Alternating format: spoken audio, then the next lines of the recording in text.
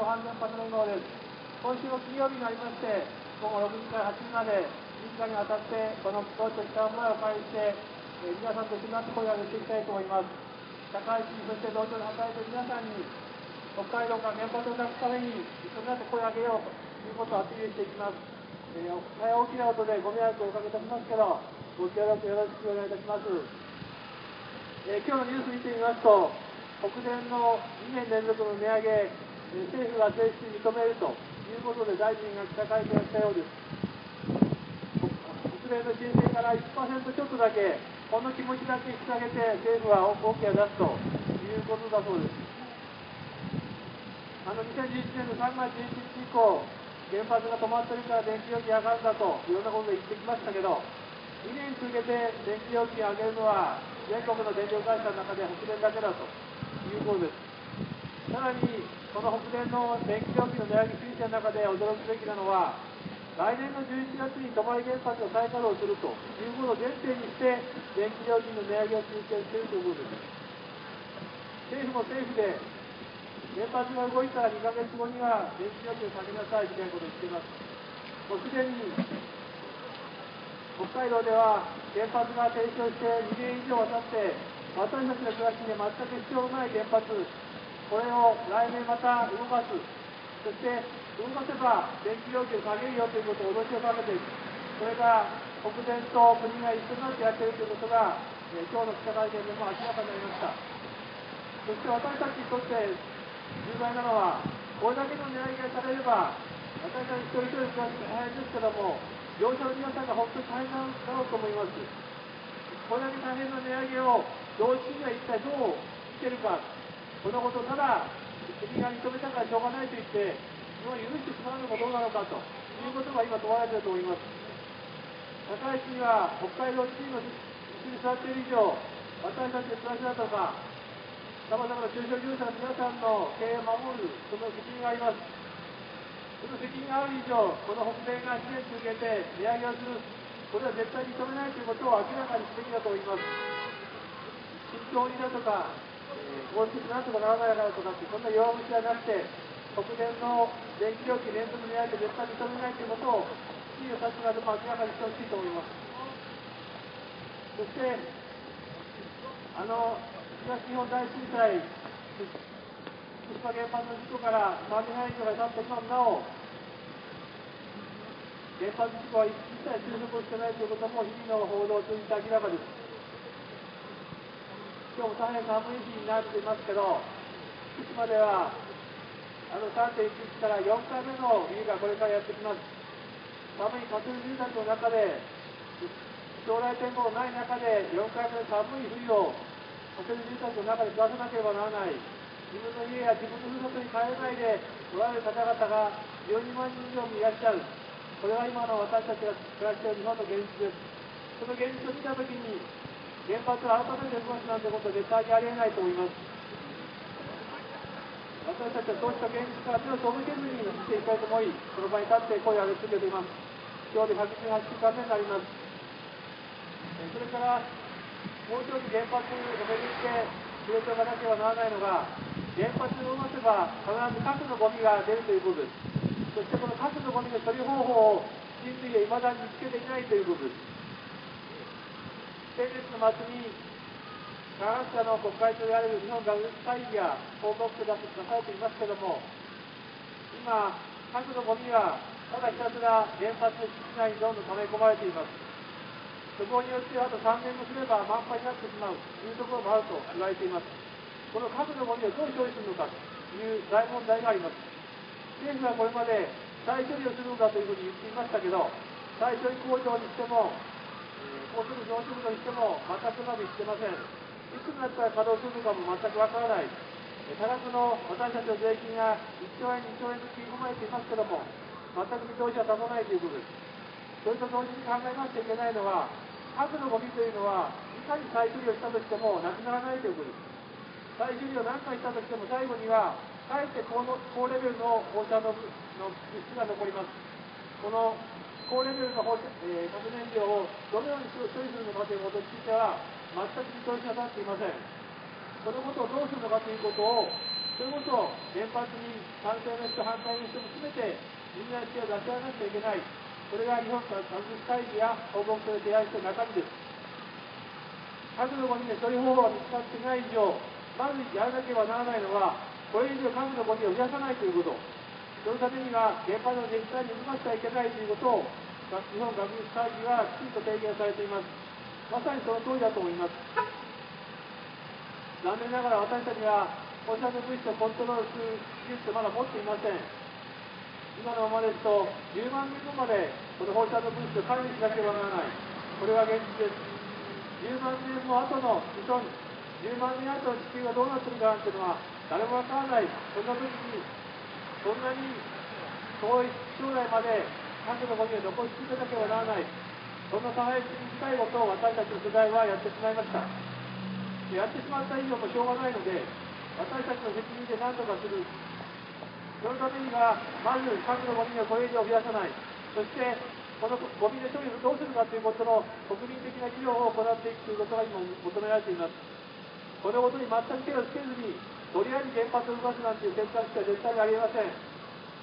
もうすでにあの311を経験した私たちには、原発を再び動かすという選択肢がもうなくなっています。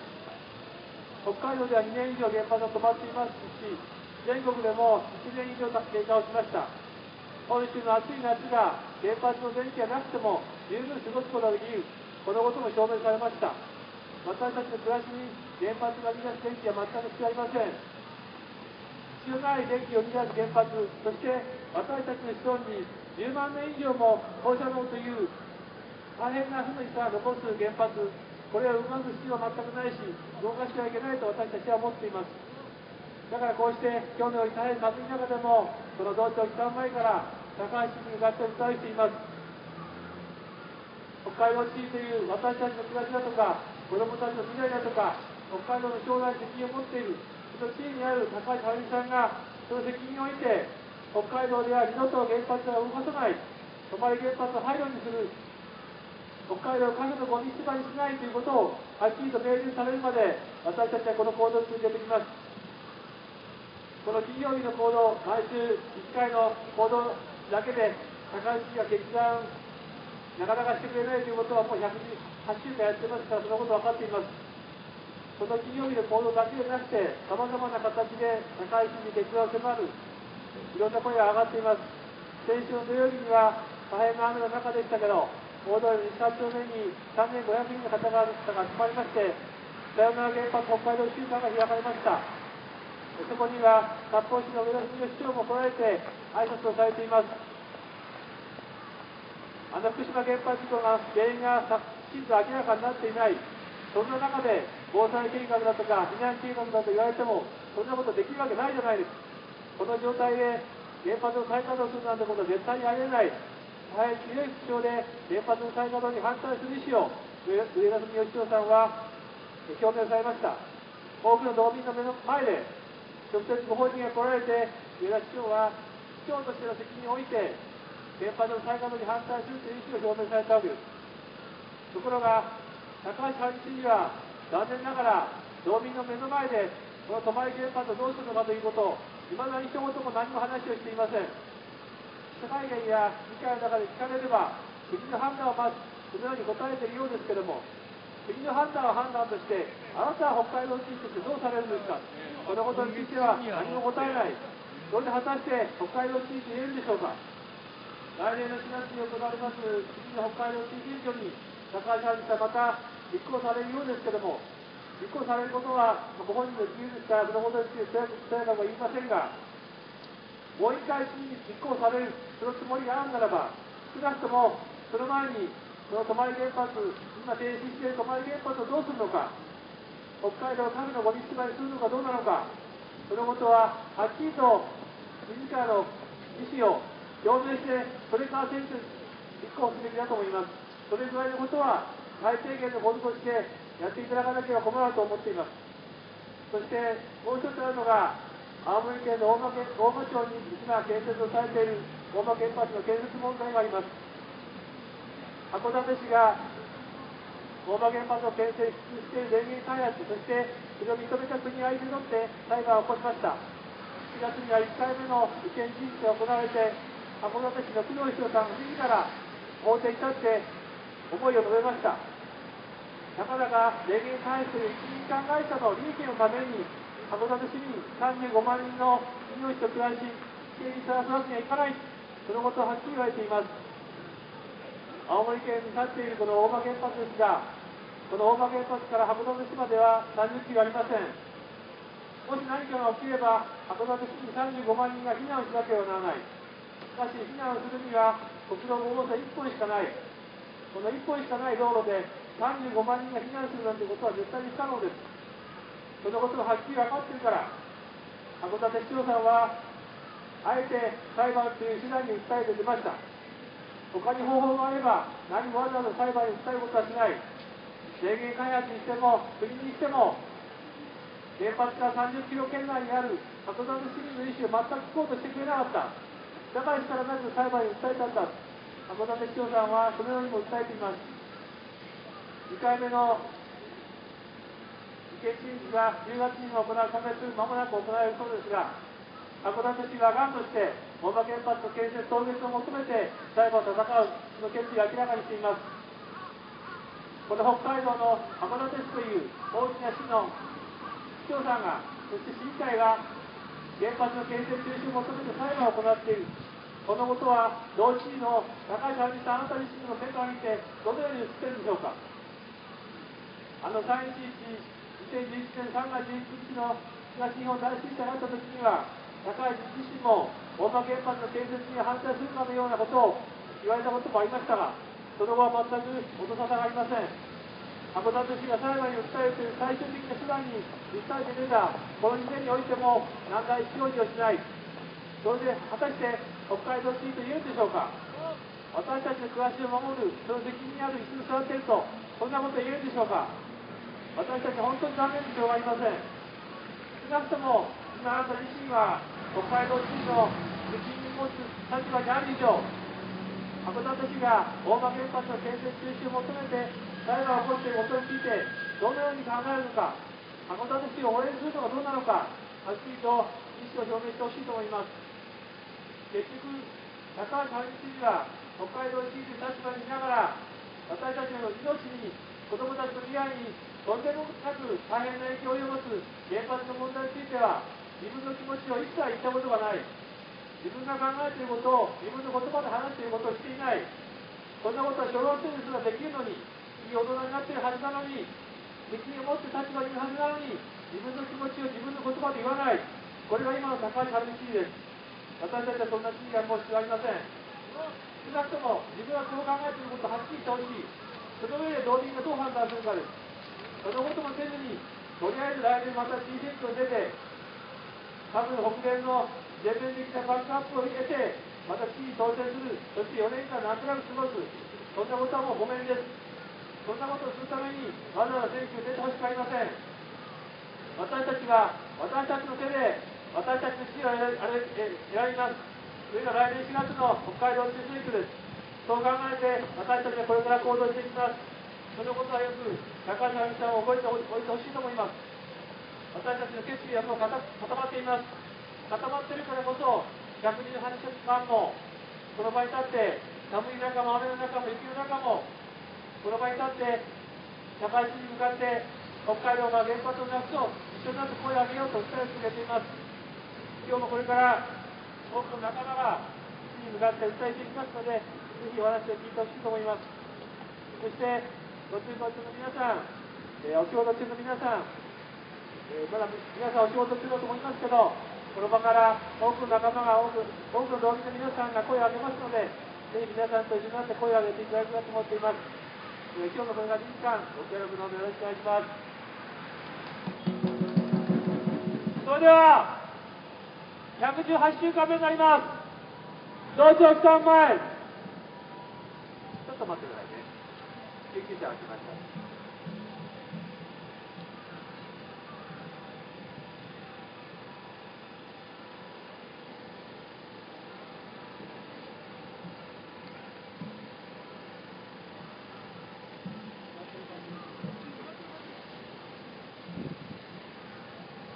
ちょっと救急車が来ておりますので、ちょっとお待ちください。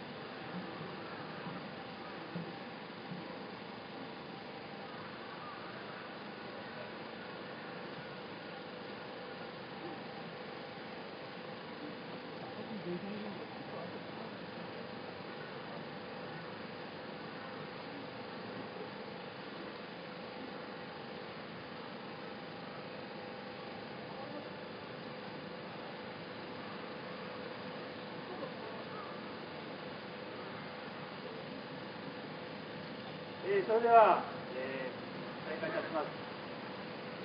それでは、118週間目になります。同庁機関前半原発行為コールスタートします。大化の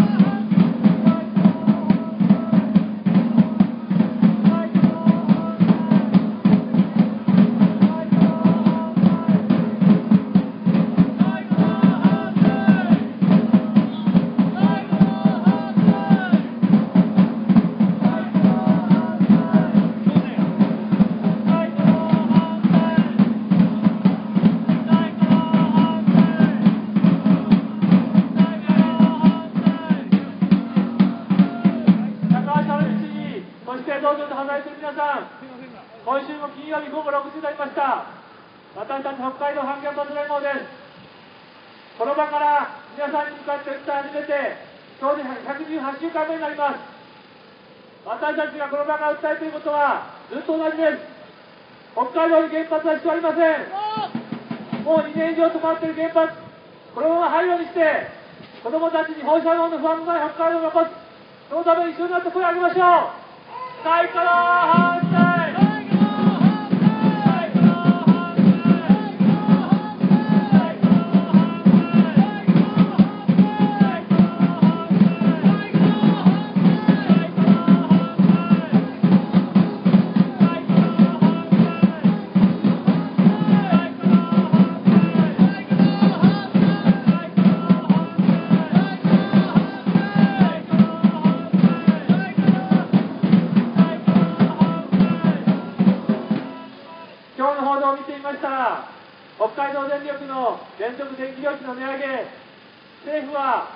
の気持ちだけ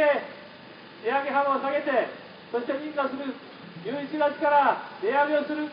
そのことはどうも正式になったようです。同庁の電気はすでに北海道電力の電気ではないと聞いています。もういい加減、こんないい加減な北海道電力の電気は使いたくない。原発だけでなくて、自分たちの利益のために、私たちの暮らしだとか、業者の皆さんの経営だとか、そんなことも考えずに、どんどんどんどん電気料金上げる、自分たちが空式はどんどん上げる、そんな電気会社、電力会社から、もう電気を買うのは嫌です。そしてそんな電力会社が自分たちの利益のために原発を動かそうとしている。そんなことは絶対認めるわけにいきません。大化の反対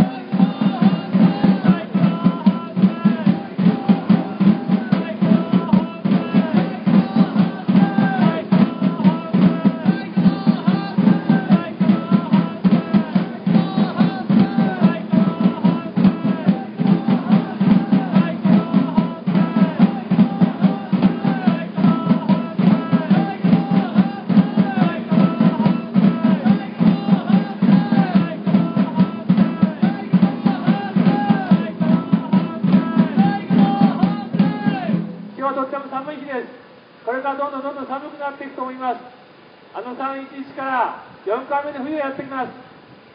私たちはまだ寒くなればあ頭のところがありますけども、原発事故によって避難生活をされている方々、12万人以上の方々がいらっしゃいます。4回目の冬を寒い家庭住宅で暮らさなければならない。そしていつになったら自分の家に帰れるかわからない。そんな方々が10万人もいらっしゃる。私たちはこの現実から目を背けずに生きていきたいと思っています。だからこそこうして、この寒い中でも頑張って声を上げています。皆さんもぜひ一緒になって声を上げてください。最下の反対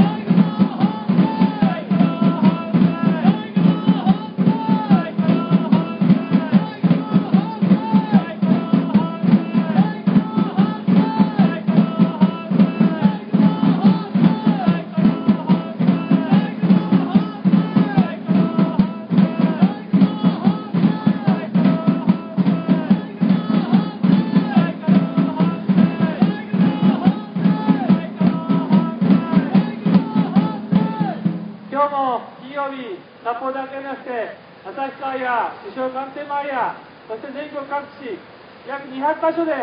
こうして金曜日に街頭路上に立って、原発をなくそうと声を上げている仲間たちがいます。この場から見ても、道庁ではまだ多くの方々がお仕事されています。これから2時間、多くの道民がこの場から皆さんに向かって訴えします。その叫びに、その願いにぜひ耳を傾けて、胸に刻んでほしいと思います。そしてできるならば、私たちと一緒になって声を上げてほしい。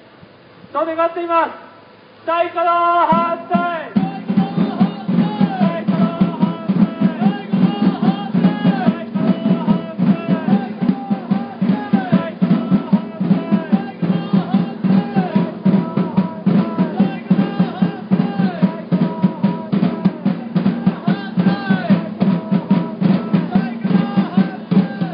道庁期間前にお集まりの皆さんお疲れ様です。えー本当に寒くなりました。で今日風がちょっと強いので、えースピーカーはあまり上に上げないでやってますので、音が取りが悪いかもしれませんけど、ご容赦いただきます。それから、あの体調管理も十分注意していただいて、えー頑張っていきたいと思いますので、今日も2時間よろしくお願いします。そして、あのこの場で皆さんのスピーチもお待ちしておりますので、お話ししたいという方はぜひこの場においてください。えーおいでいただいた順番でお話しいただきますので、皆さんの原発をなくしたいという思いをこの場からえ自分の言葉でお話ししていただければと思ってます。えーどうぞよろしくお願いします。大化の反対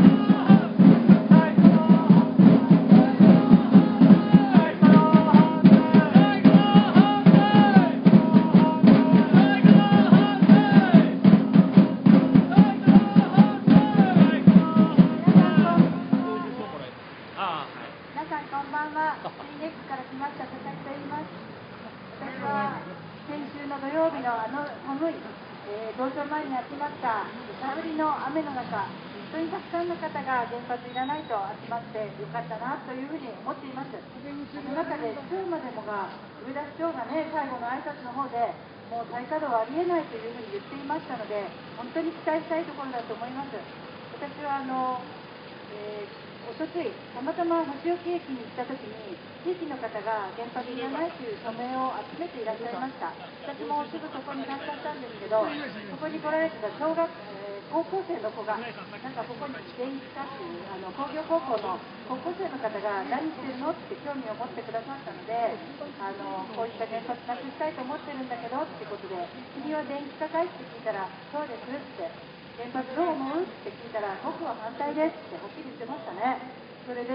あのちょうどね、ノーベル物理学賞も3人の科学者の方が取られたように、君もぜひ将来、未来のエネルギー、あのぜひ開発してほしいんだって言ったら、分かりましたっていうふうに、まあ、そんなふうに高校生の方と話しても、原発反対ってすっきりと言っていました。そして今日もたまたま地域歩いてた時に、歩いてたっていうか、地域のところ、知り合いのところ訪問しましたら、私は先週の土曜日、一人であの道場前、えー大通公園に原発いらないという集会に行ってきたんですっていう人と出会いました。その方も本当に原発子供たちに残したくないから、雨の中行ってきましたって、すごい寒かったです。ぜひやめてほしいですよねって私も同じギュッとしてあのその方とも意見が一致しました私は火曜日の日に地域の丁寧なお母さん方と国連の20社に行ってこんな寒いこれから電気がいっぱい使う時に電気料金の値上げやめてほしいというふうにあの要望書を持って行ってきました。本社に必ず伝えてくださいと伝えましたらあのその国連の方はとてもいい方たちでしたがこんな寒い冬にやめてほしいってみんな1時間にわたって切々と訴えていました。中でも20代の若いお母さんはあの30アンペアから20アンペアにお部屋お家の電気のアンペア数を変えたそうです。そうしましたところ夕ご飯が炊ける頃にはブレーカーが落ちてしまう。それで子供たちにブレーカー落ちるからテレビ消してって言いながら本当に苦労して電気を節約してると言っていました。そして高齢者の方たちはほとんどまだこの寒い冬に暖房入れないでもう着膨れするぐらい着込んで家で静かにしているという話も聞くので本当にこの冬の電気料金の値上げやめてほしいと思います。そして何よりも危険な原発を動かさないでほしい国連の日記者の方には訴えました。自分たちも少しあのそういった自然エネルギーに転換したいと思っているんですが、なかなかという話はしていましたが、本当に高齢者の方は死活問題です。消費税も上がって、電気料金も上がって、お油代も高いです。本当に市民の命、道民の命を守る立場に立つならば、しっかりとこの辺のことを考えてほしいと思います。再稼働反対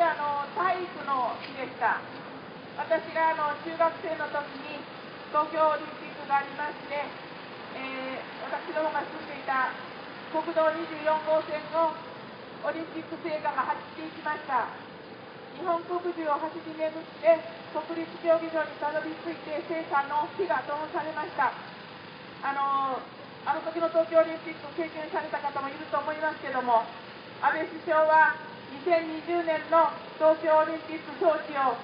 えー、震災から立ち直った日本で世界の選手を迎えると、そして、えー、原発は完全にコントロールされていると、えー、豪語しましたけれども、そんなこと言うんであれば、福島原発事故をきちんとした収束と、すべての原発の廃炉を世界に宣言することが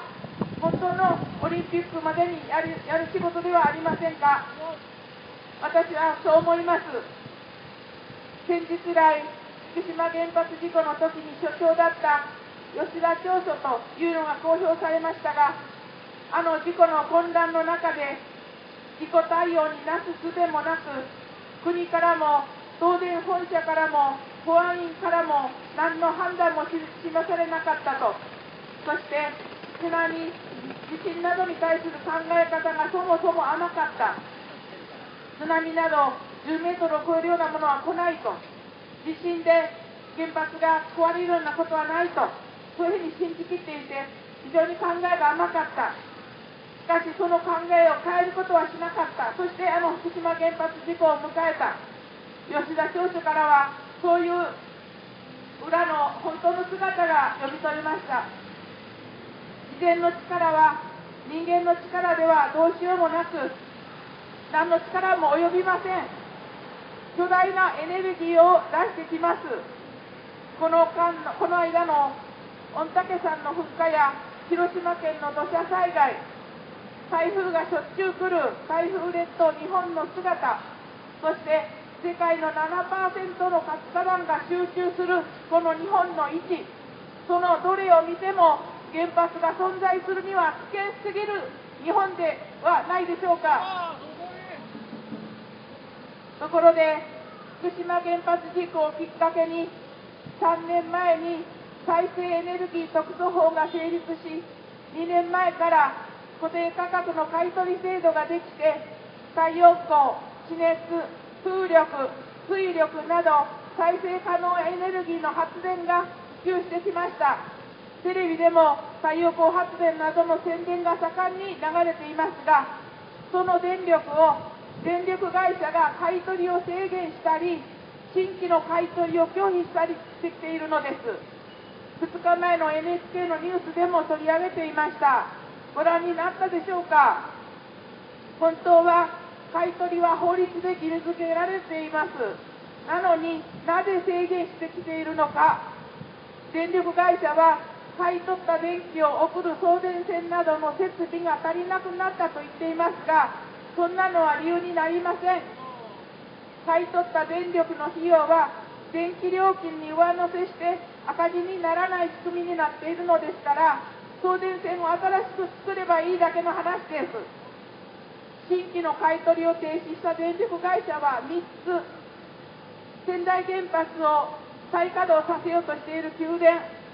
泊原発を再稼働させようとしている北電も入っています。原発再稼働を急ぐ会社ばかりがこの新規の買い取りを停止したり買い取りを制限したりしています。原発の耐用年数は40年引き延ばしても60年と言われています。そして核のゴミはたまる一方その核のゴミの処理の方法もまだない。人類にはそれはできない。そしてもう2年もすればもう満杯になる。この原発の耐用年数も核のゴミの処理の問題もそのどちらも対応が待ったなしで急がれています。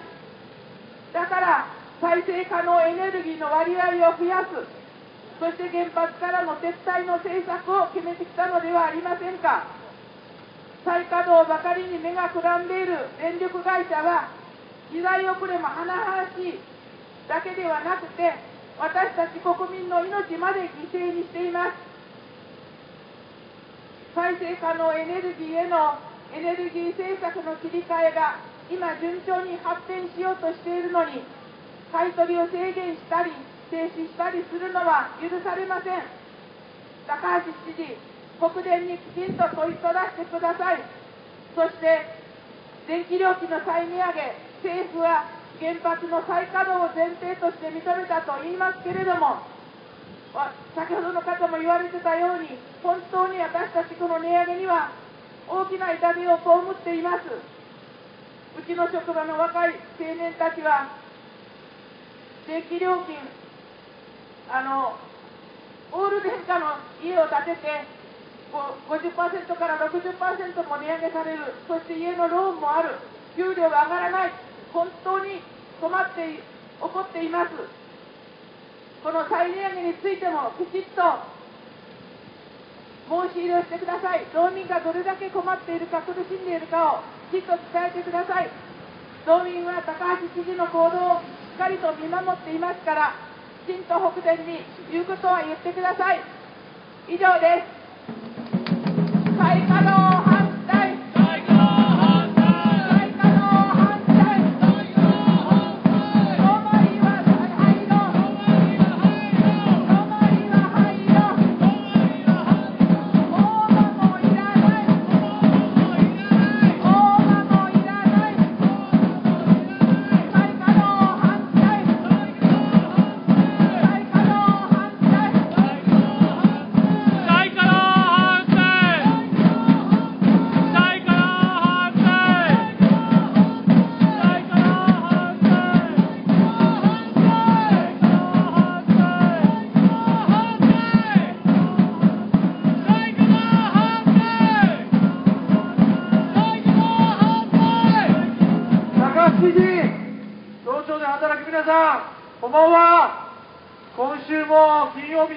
再稼働季節になりました。それでも僕たちはここに立ち続けなくちゃいけません。高橋知事がはっきりと泊原発は廃炉にします。そう宣言してくれるまでやめることができません。早くこの抗議行動を終わらせましょう。高橋知事が判断してくれるまで私たちは声を上げます。最後の反対。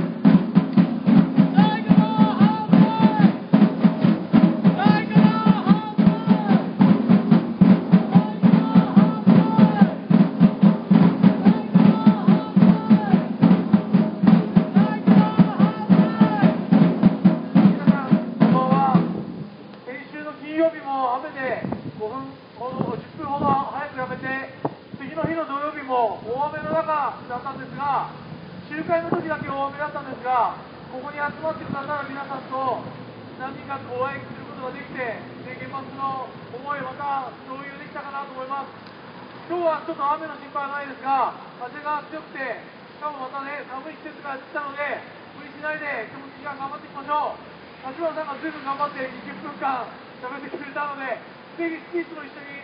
あの、高橋に向かって声を上げてください。よろしくお願いします。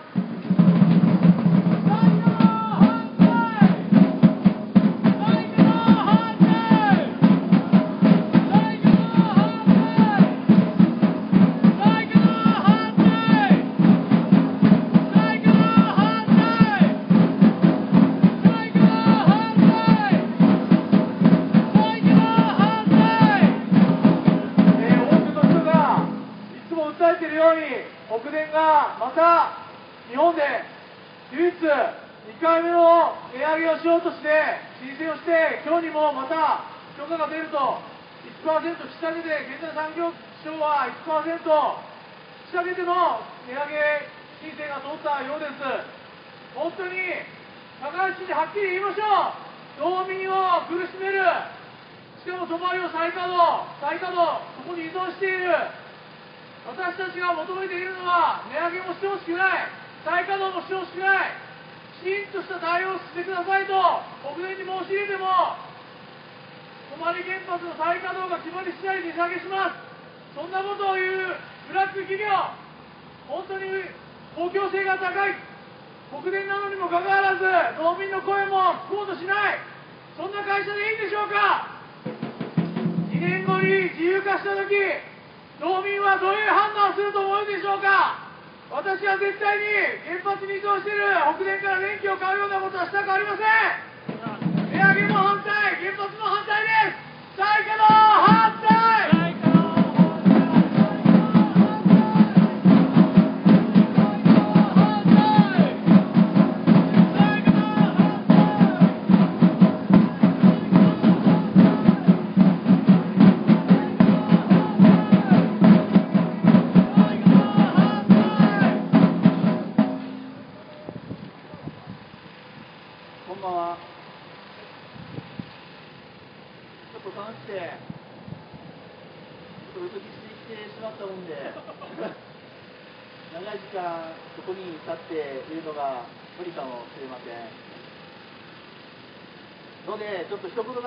だけ言いたいです。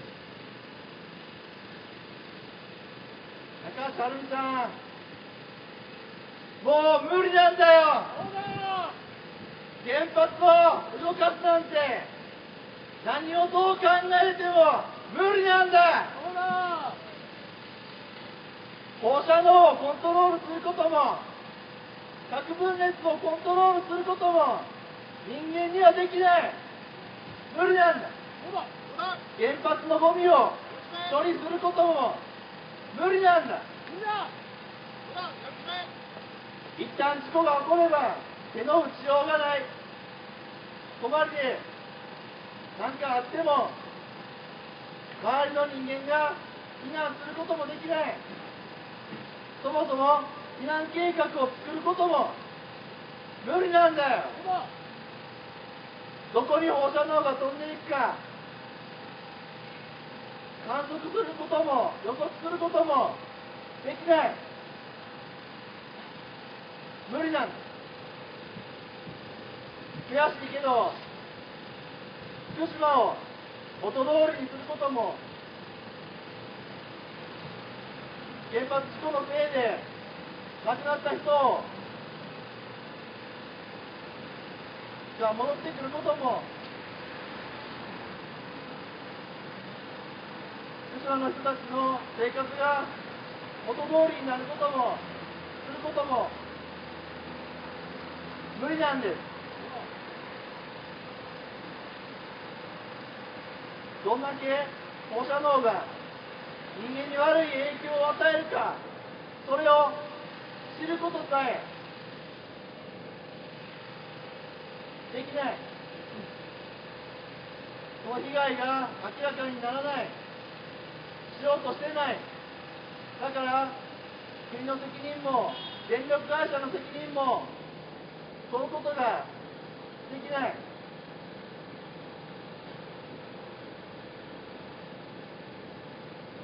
事故が起こったら誰が責任取るんですかどこをどう探したって原発を再稼働させてもいい。そんな理由見つからない。僕には見つけられない。誰にも見つけられない。無理なんだ。無理だそして何より僕たちの反対する声を無視して再稼働すること。毎週毎週こうやって声を上げている。それを見て見ぬふりすることも聞こえてるのに聞こえてふりするそんなの無理なんだ。高橋春道にいい加減諦めろ。再から反省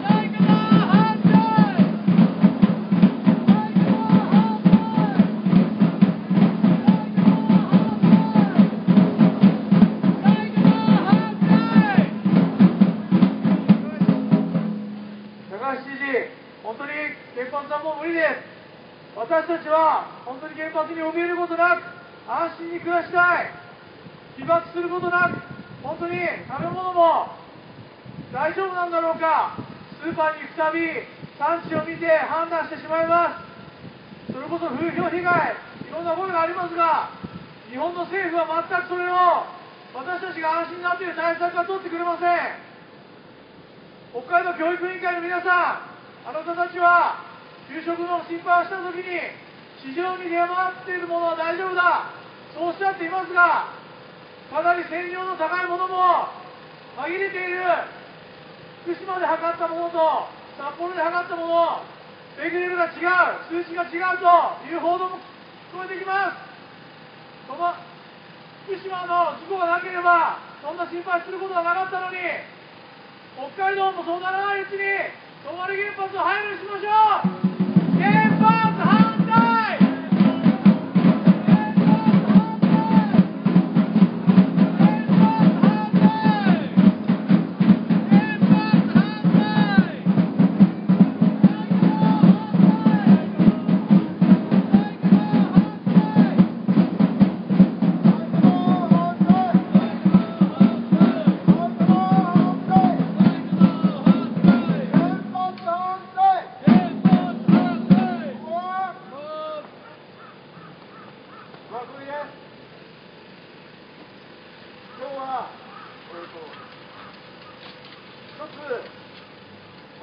の民主主義が壊れているときなしに批判を一つ持ってきました。それはこここ最近九州仙台原発の再稼働をめぐって住民説明会があったそうです。そこで住民に送られてきたその価格の内容をツイッターで拡散してくれた人がいたんですがそのツイッターに拡散してくれた人に感謝しますそこに何が書いてあったかというとこの住民説明会でのインターネットによる中継撮影録音などの行為を禁止すると、そう伝えされていたんだそうです。そして、さらに、そのおまけのおまけに、指定席でもって、誰がどこでどのような発言をしたかとか、そういうものを全て電力会社が監視しようという魂胆が、その指定席につけて見えました。そもそも行政が説明会を行うに対して、音声や動画的証拠を残すことをなぜ禁止するんでしょうか。そもそも、メモだけでは対応しきれないので、音声や動画を用いて保存するのは当たり前だし、さらに言えば、例えば僕たち視覚障害者のように電池だと音が出てうるさくて迷惑がかかるからかかるからメモれない。だから動画や音声で残して後でメモるという場合も考えられるわけです。それなのに行政は音声や音声や動画で説明会の内容をすることをま否定しました。これは民主主義国家にあってはっきり言って許せないことです。高橋知事そして私は北海道北海道の行政にも一言言いたい。あなた方ももし泊原発の再稼働を受けて住民説明会を行おうとしたときに同じようなこの仙台と同じこの仙台原発の再稼働をめぐって説明会を行ったの行政と同じことを、ま、全く同じことをやるんでしょうか。もしそういうことをするまで再稼働を進めるんであれば高橋知事お前はもうやめちまえ。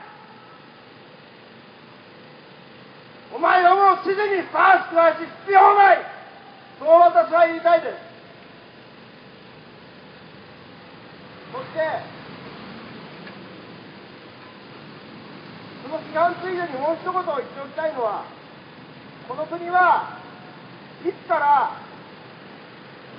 憲法を知らない者が総理をやって政治政治の中枢に行って政治を支配する。いつからそんな需要と政治が巻かれ通るようになったんですか。一刻も早く自民党は落とさなければならない。安倍晋三を落とさなければならない。私は常にそう考えます。以上ですありがとうございました。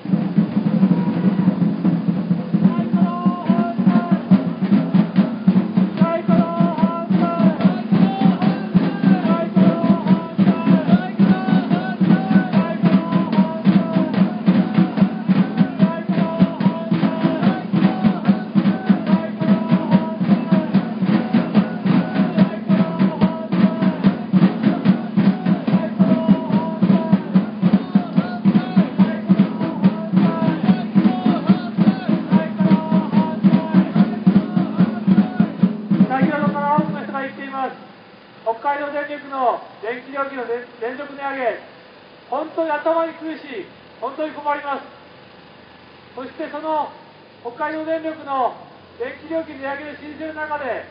泊原発の再稼働について来年の11月だと書いているそうじゃないですか。来年の11月泊原発を再稼働する。北海道電力が国に対して正式に対した文書の中でこう書いている。高橋市議はこのことをご存知ですか。そしてこのことについて新西市議はどう考えていますか。体誰がそんなことを決めたんでしょうか？誰がそんなことを許したんでしょうか？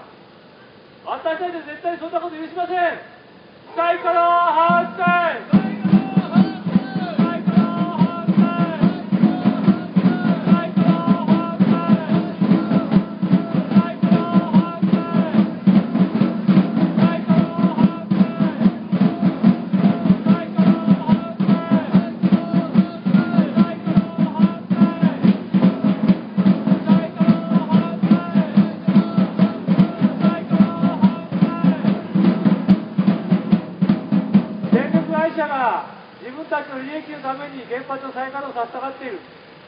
ことは理屈では分かります。そして私たちはそんな原発原発が乱す電気が必要ないということそのことももうはっきりしています。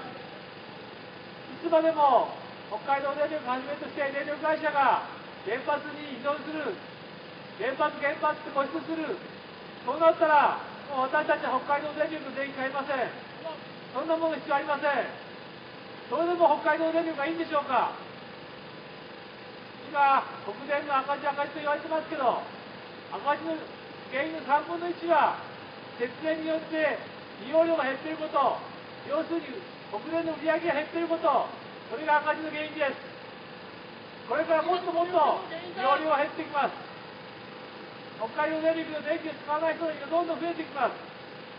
そしたらまた北電は電気料金上げるんでしょうかそんな会社に将来がないことなんて私たち素人が考えたとすぐに分かります。そんな倒産商売もう通じません。いつまでもいつまでも原発原発とそれしか言えないような北海道電力には未来ありません。でもそれじゃあ同情を含めて皆さん困るでしょう。だから農民に信頼されるそんな電力会社に生まれ変わってほしい。北海道電力はもういい加減原発に固執する態度を諦めてもういい加減本当に諦めて次の道に進んでそして農民私たちに安心できる電力をきちんと安定的に供給してほしいそう心から願っています。だからこそこうしてこの場で声を上げています。大化の反対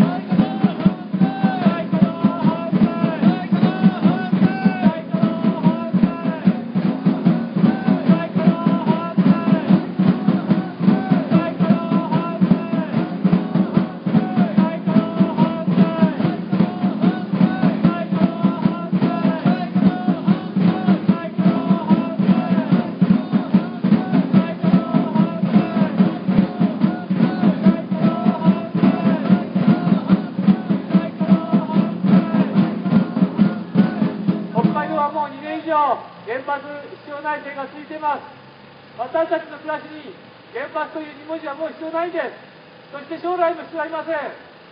そんな原発はもう一層廃炉にして子どもたちにせめて放射能のない不安のない北海道を残すためにぜひ道民とそして高市同庁の皆さんも力を合わせていきたいと思っています。大化の反対。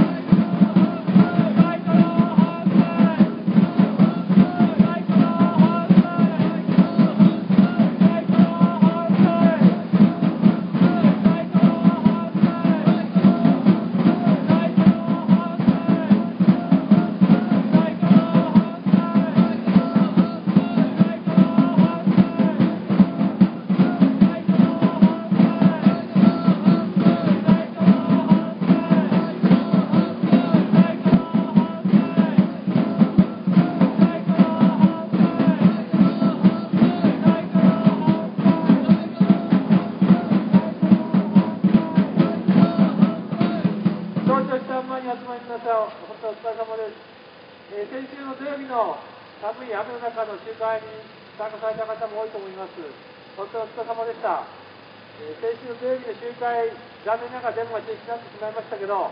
夕方からしっかり晴れまして、翌日はきれいな秋晴れになって、えー、昨日までいい天気が続いておりました、えー、金曜日になるとまたこういう天気ということで、私たちが何かやるときに旅してだけ天気が悪くなるということですけど、まあ、これからどんどんあの寒くなってきますし、雪もしてくるし、えー、当然のことながら冬ながらそうなんですけど。そういう中でも引き継いでまた皆さんと一緒になって声を上げ続けていきたいと思います。えー、今日もままだ寒くなって風も強まってきますので、あのあまり無理せずに耐えられないなと思ったら、あの相談していただいて全然構いませんので、その辺は自己管理でよろしくお願いします。それでは毎週お願いしていることですけど、えー、この場でをきちんと皆さんから立候補に成り立っておりますので、話を伝えた方はどうぞこちらの方においでください。それから、えーこの講座、皆さんのご近所成り立っております。今日もスタッフが透明の箱を持って皆さんとこ回っておりますので、え、こちらにもご協力お願いしたいと思います。先週土曜日、え、先週金曜日、土曜日、皆さんからいただいた募金が、約1万5000円になりました。それから、土曜日の夜行われました、ライブのチケット売り上げから、1人当たり500円を、寄付に回させていただくと聞きますが、それも6万7000何がしのお金になりました。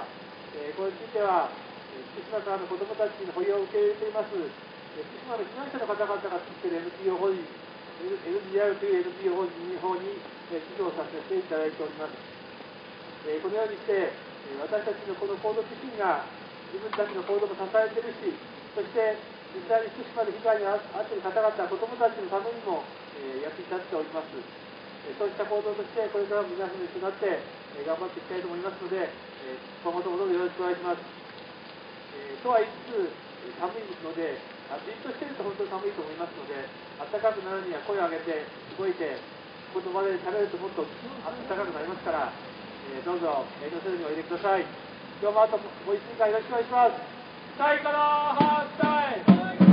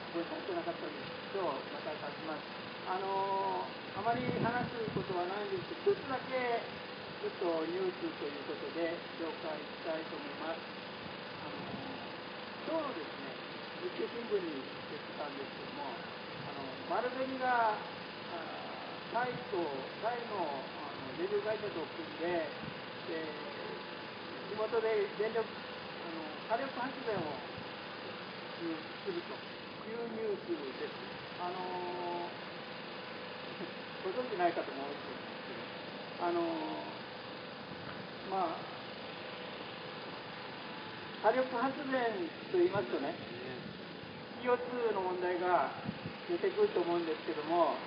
あのここで使われているのはあの一般の化石石炭火力よりも2割の CO2 の排出を抑える超超臨界圧技術というのがあるらしいんですけどもそれを使って、えー、発電すると。で今あのタイとかですね、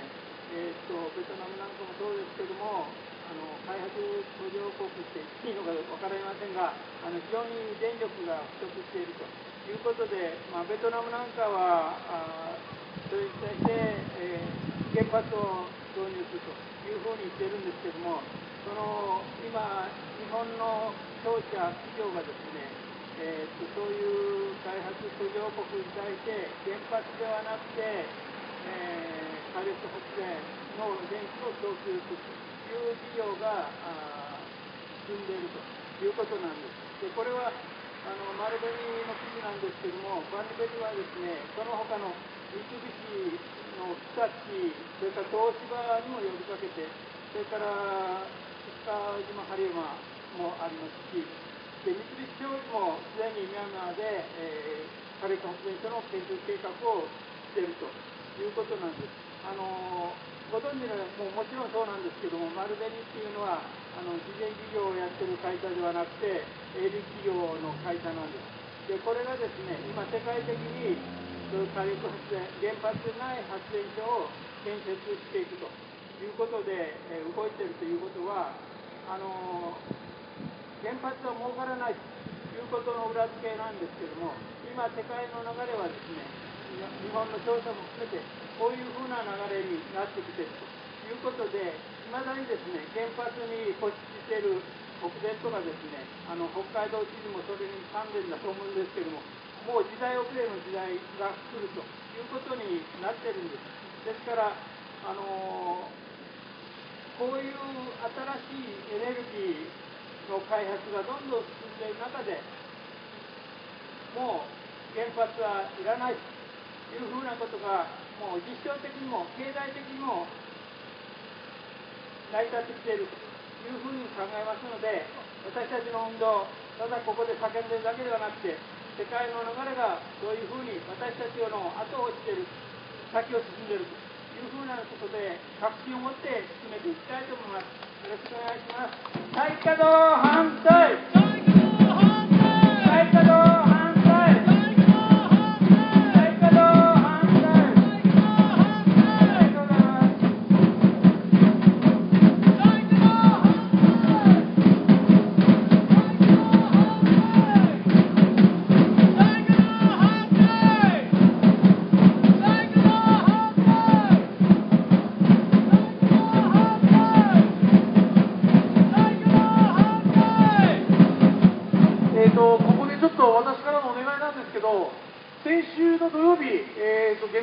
があって雨の中たくさんあの方がいらっしゃってたんですがその中でちょっとフェイスブックで知り合った方からのあの報告だったんですけどあの雨の中写真を撮って男の子が若い男性が写真を撮っていたそうなんです。そしたらその写真を欲しいって言ってくれたピンク色の傘を差したお母さんがいらっしゃってその方にそのはがきじゃねえその写真を送るからって言って住所を聞いたそうなんですよね。ただその雨だったのでその住所がなくなっちゃって100円もらいっぱなしになっちゃったって言って困ってて拡散してくださいっていう連絡があったんですけどもしかして同調前にしている方でそういった方知り合いいるのかなとかピンクの傘さした人とかっていっぱいいるからって声かけてみますって言ったんでもしお心当たりがあったりあの人じゃないかっていうことがあったりしたら私の方まで声をかけてください。すごく読んであの気になっているそうなので、ぜひその原発の反対のつながりで何かお気づきのことありましたらお声かけてください。すみません、よろしくお願いします。再稼働反対再稼働反対再稼働反対再稼働反対高橋知事、何とも言います。電気料金の値上げも反対、再稼働も反対、そもそも北電は嘘で塗り固められている。原発を動かすのにもタウンミーティングでやらせ問題、そんなことを繰り返しながら原発依存、全く変えようとしていません。原発に依存していない電力会社の方が赤字が少なくなっている、そんなことも明確です。ともかく原発には嘘がだらけ、新しい安全神話、総理大臣だってろくな答弁ができません。現在原発は火砕流が来ても安全だ、誰がそんなことを信用できるんでしょうか、火山学者の人たちが推測もできない、なんで規制委員会がそんなこと判断できるんでしょうか、もう嘘はごめんです、原発には嘘とごまかし誰かの犠牲に成り立っている、そんなもんで電力を作る必要はありません。最初の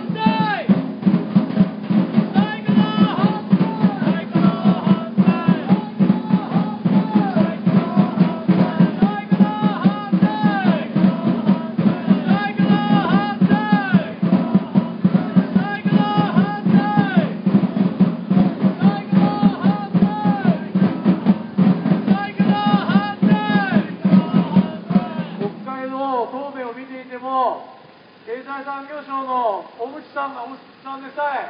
え、よく理解していない、相変わらず原発はコストが安いとか、実は高いとか、本人が全然分かっていない、原発の安全でもないし、コストも高いことはもうみんな知っています。もっと選手だぞいい加減に嘘をついたりごまかすのはやめましょう。原発は危険でとても高い。維持するだけでも800億円。そんな原発の方で電気を作る必要はありません。北海道ではいろんな自治体が地産地消自分たちで電気を作って賄っています。それを全国に広げていけば原発なんか本当に必要ないことはみんな知っています。原発反対。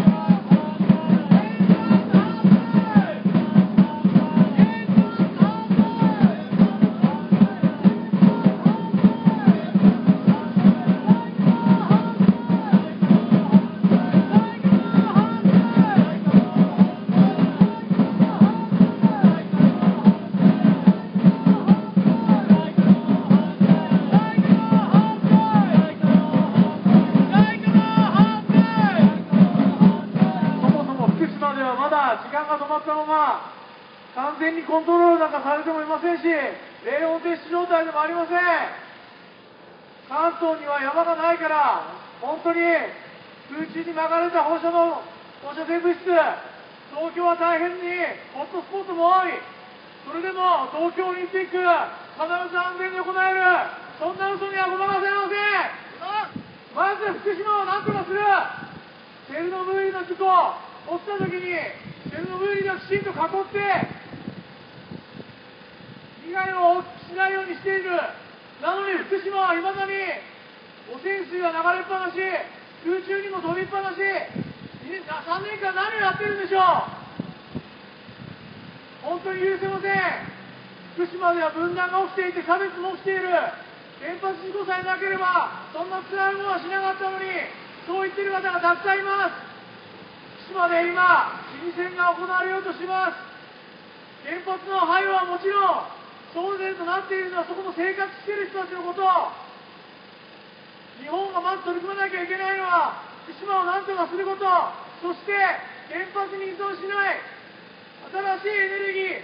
再生可能エネルギーに転換していくことだと思いませんか。一国の首相が今の原発事故を放っておいて海外にいる。日本はそういう国です。私はそういう国は許せません。だから毎週118回ここで叫んでいます再稼働反対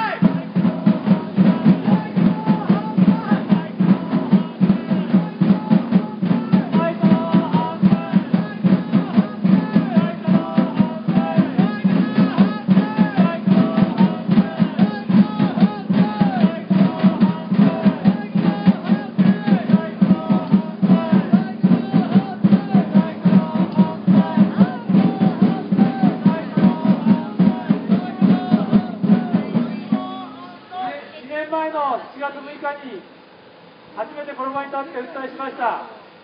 以来118週間この場から訴えていることはずっと同じです。それはもう私たち農民国民の決断選択肢がはっきりしているからです。北海道にも日本にも原発は絶対に使いません。再稼働反対。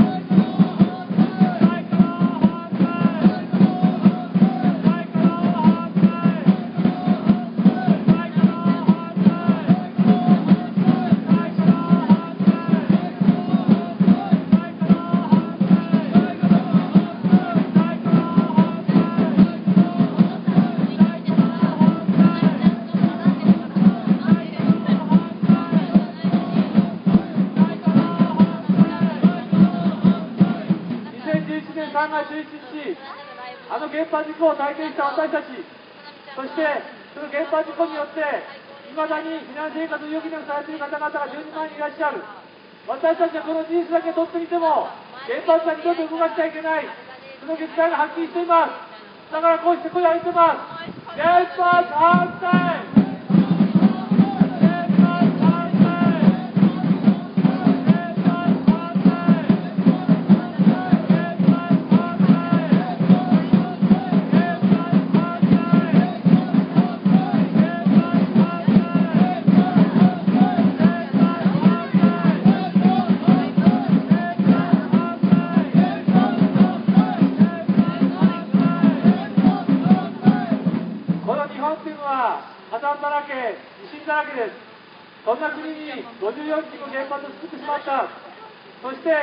事故を事故を起こしてしまった。私たちはその責任を負わなければなりません。子供たち、孫たちに、せめて放射能の不安のない、原発のない北海道、日本を残したい。だからこうして声を上げてます。対再稼働反対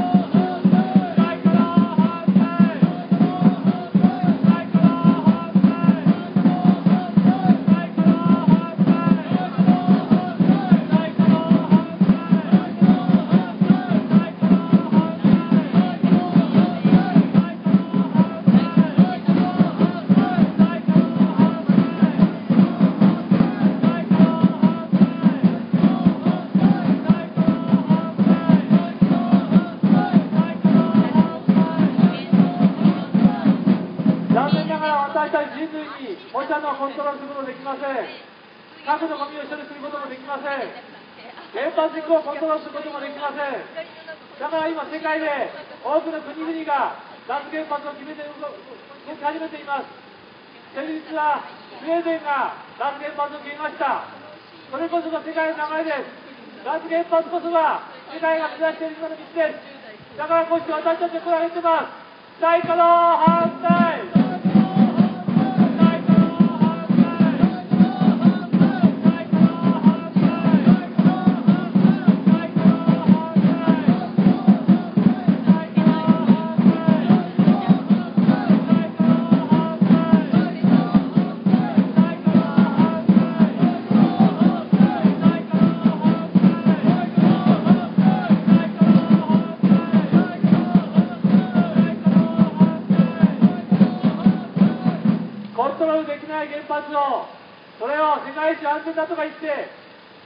嘘の上乗りをして、世界中に輸出しまくる、日本中で動かしまくる、そんな人たちに政治家を名乗る資格はありません。私たちはそんな人たちに自分たちの命だとか、子供たちの未来を預ける必要はありません。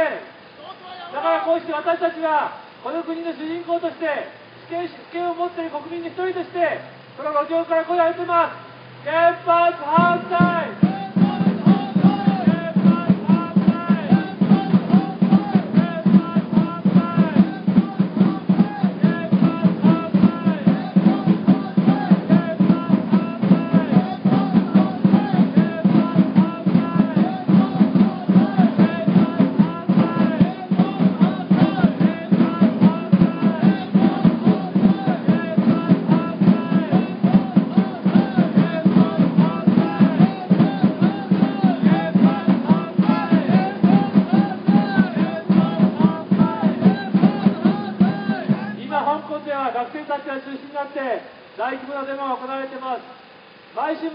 界中至るところで何万何十万というデモが行われています。それが常識です。それは私たち自身が国を動かす、国の行く手を決める主人公だからです。私たちはそうして、この街頭から路上から声を上げます。それだけではなくて、裁判だとかいろんなところを通じて、署名を通じて、いろんな声を政治家に伝えてます、聞きます。そして政治家は、その私たちの声、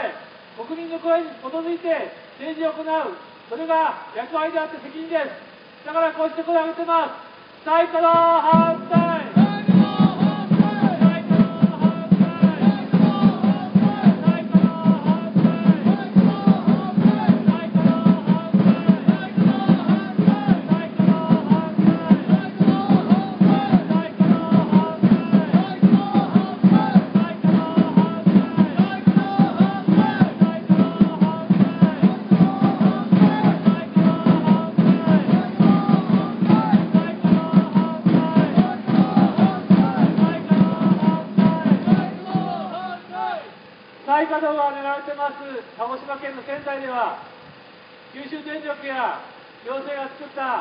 った全てお膳立てをした。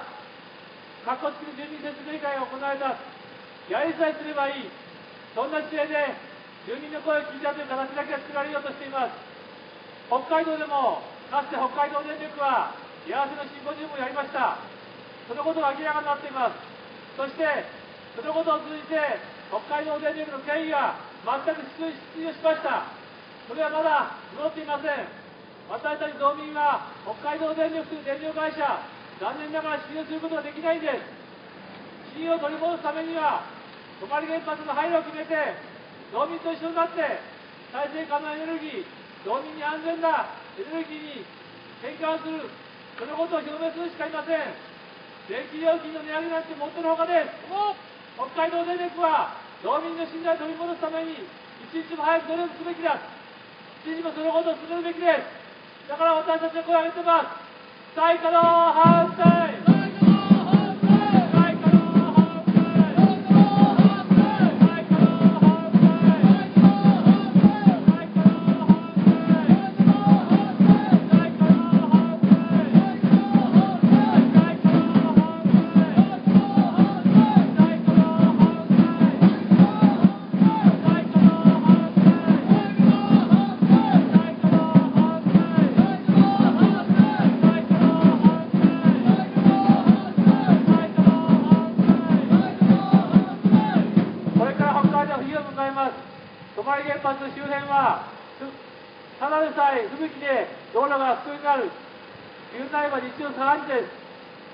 ところで原発で何かあったからといって避難できできるわけがない。そんなことは素人が考えたって分かります。それでも避難計画を作らなくちゃいけない。本当に無駄なエネルギーを農場で働いてる皆さんは使われています。そんなことをしなくてもいいようにするために一日も早く泊原発を廃炉にする。農場の皆さんと一緒になって声を上げていきたいと思います。原発反対!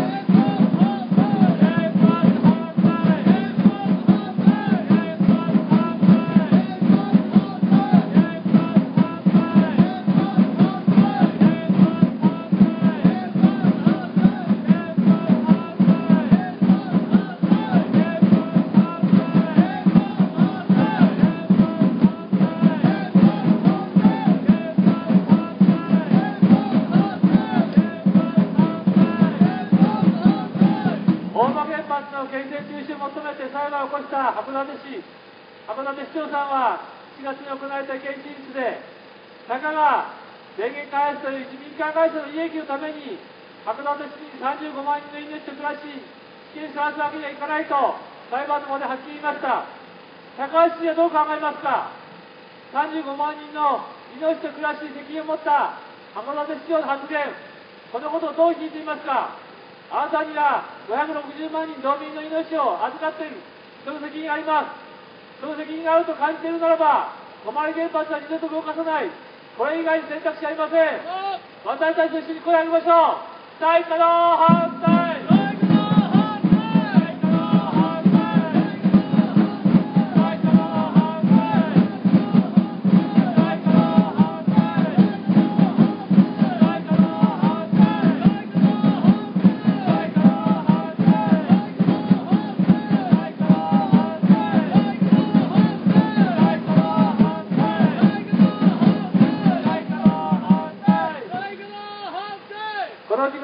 まだ同庁で多くの電気がついています。同庁で働いている皆さん、本当にお疲れ様です。毎週毎週この場から声を上げながら、同庁の建物を見て、そして同庁の職員の皆さんがまだお仕事をされている、そのお仕事によって私たちの暮らしが守られている、支えられている、そのことを実感しています。もう来年の予算の編成に向けて、今一番大変な時期になっているんじゃないかと思いますけど、本当にお疲れ様です。そして来年の予算の中で、この泊原発問題はどのように扱われているんでしょうか。残念ながら原発を停止して、そして廃炉にしても、すぐに放射能物質がなくなるわけがありません。泊原原発の敷地内には、膨大な放射能核燃料が今溜め込まれている。それを安全に処理するために、まだまだ何十年、何百年とかかるでしょう。そのために安全対策しなくちゃいけない。本当に無駄なことをしなくちゃいけないんだと思います。そのことを考えても、原発って本当にコストもかかるし、無駄なエネルギーもかかるし、金もかかるし、どうしようもないもんだ。同庁で働いている皆さんこそが一番実感されていると思います。私たちはこの場から訴えることができますが、同庁の皆さんは、この職場の中で声を上げることは、なかなか難しいかもしれませんけど、ぜひ心の中で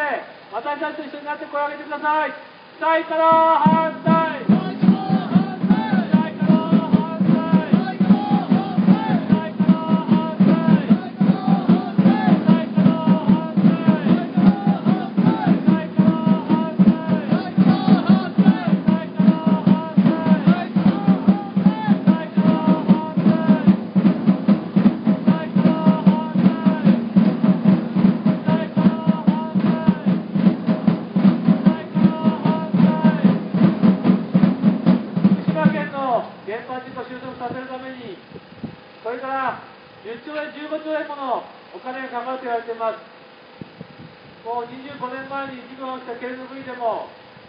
まだまだあと100年かかると、事故収束に当たっている方々はおっしゃっているそうです。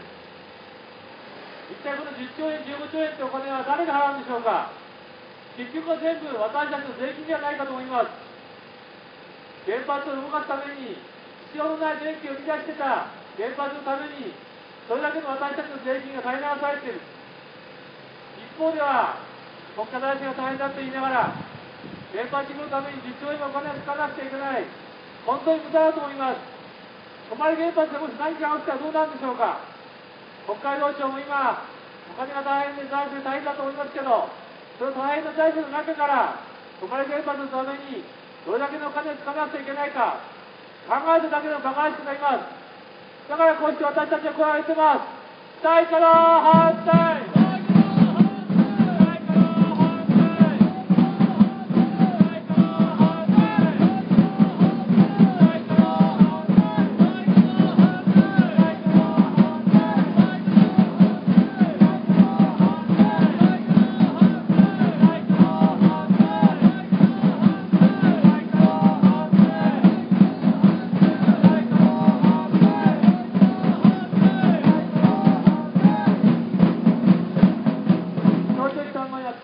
さん、今日もありがとうございます。えー今週もまた皆さんのところに北海道半型電話新聞をお配りしています。えーそして、あの在庫ありますので、皆さんだけではなくて、周りの方々にも広めていただくように、十分人数を持っていただいても構いませんので、あの配っているスタッフの方に声をかけていただければと思います。えーそれから、同時に集まった、えー原発前北海道最も100万署名、これ署名用紙もこちらの方に用意しておりますので、皆さんはもうすでに署名終わっていると思いますけど、周りの方にもぜひ広めていただいて、100万人署名という形にして、声にして、社会地に設置を集まっていきたいと思います。えー私たちはこうやって毎週金曜日この場に立って声を上げてますが、そういう、えー署名という形、集会という形、最後という形、さまざまな形を通じながら、えー560万人道民の総意として、一日も早く社会主義に疎外原発を配慮しない、配慮するという決意、決断を迫る、決断させる、えーそういった行動をこれからもずっと強めていきたいと思います。先週の北山原発北海道集会、雨の中でしたけど、3500人の方が集まっていただきました。えー雨の中でもそれだけ集まっていただいたって本当にすごいことだと思いますけど、えー集会に集まっただけでは原発は止まりませんので、要は、えー肝心なのはこれからだと思います。それだけの数が集まった集会を経て、さらに原発をなくすという声がどれだけ広がっていくか、そのことをどれだけいろんな形でえー多彩に多様に広がっていくかということが、えー問われていると思います。といっても来年の春には新政権を行いますので、えーそこに向けてまた皆さんと一緒になって声を上げ続けていきます。えー皆さんもいろんな形でこの場に来ることも含めて、えー自分のできるところで原発をなくすための声を上げ続けていってほしい。私たちも反原発連合として、この金曜日の行動を続けながら、いろんな形でえこれからの行動を続けていきたいと思います。どうぞよろしくお願いします。最高の反対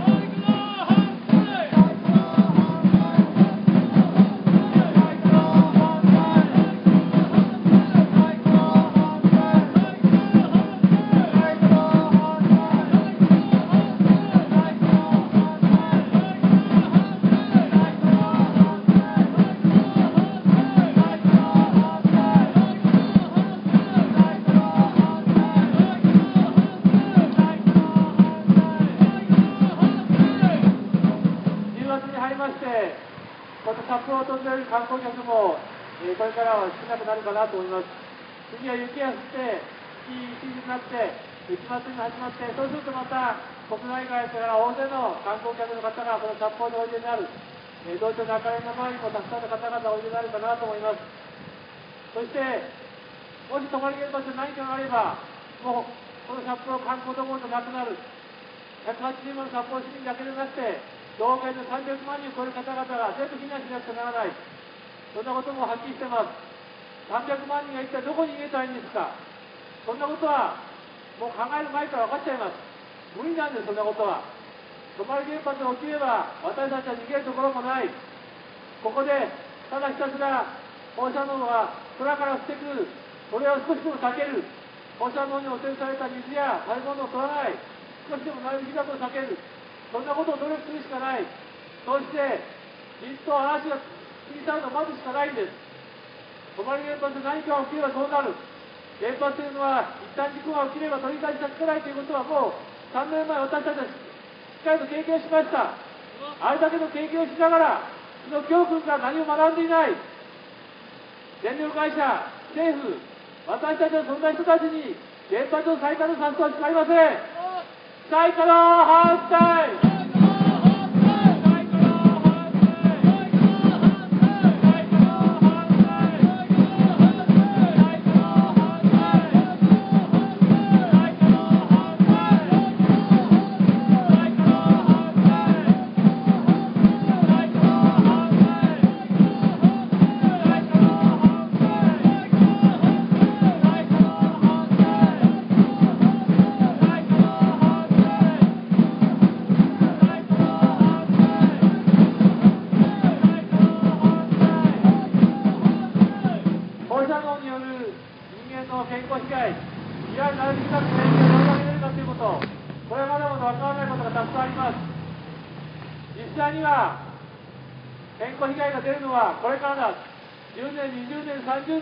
年、経って、いろんな形で内部被曝をした方々の体の中で放射能が争いをして、がんが増えたり、心臓に障害が出たり、さまざまな被害が出てくるだろうと言われています。原発の収束にも40年、50年かかる。たった1回の原発事故によって、数十年単位で福島県の方々は自分の体にどんな障害、どんな被害が出るか、怯えながら、不安不安を抱えながら暮らさなければならない。原発も40年、50年かからないと、放射能が漏れ漏れ出てくるのを止めることもできない。これがあの、3年前に起きた原発事故による今の結果です。私たちはそんなことを二度と繰り返しません。だからこうしてこられてます。で再稼働反対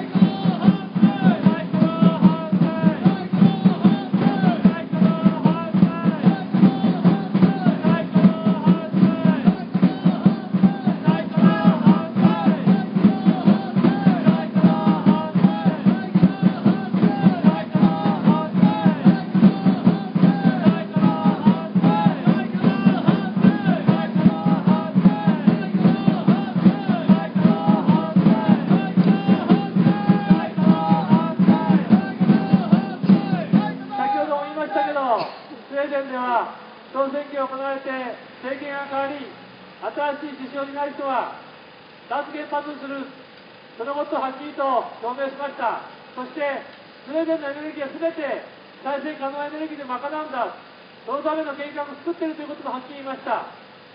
すでにドイツだとかイタリアだとかスイスだとかオーストリアだとかいっぱいいっぱい多くの国々が脱原発を決めて足を踏み出しています確かに1年2年で全てなくすことはできませんがその方向に足を踏み出したということが重要です考えてみると日本はすでに原発ゼロ実現をしています他の国から比べればもっともっと先を行っています。もうすでに止まって1年以上経った原発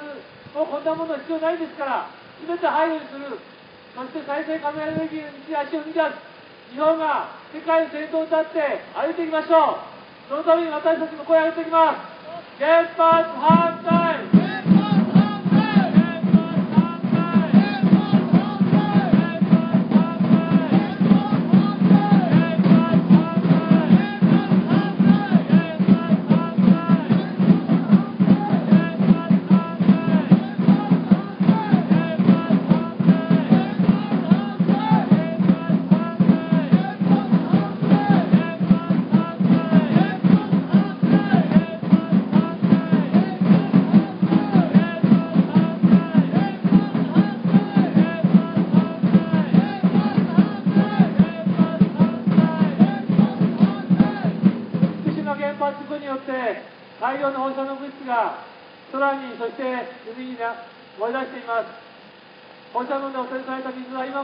太平洋にどんどん流れてるでしょう。そして私たちが毎日息をしているこの空気中にも放射性物質が今まで以上の濃度で漂っていると思います。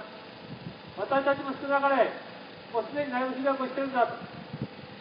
だけども現実的に考えると私だとか高橋はじさんだとか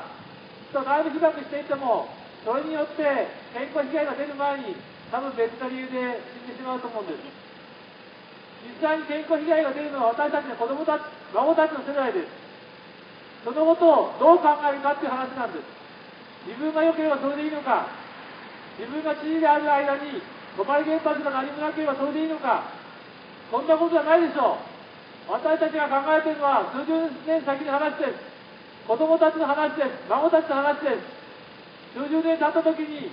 2011年の3月11日あの福島原発事故を経て日本は全て原発を止めて子供たち人間たちに安全なエネルギーへと道を展開したんだ。と胸を張っているようになりたいじゃないですか。だからこうして声を上げてます最高の反対。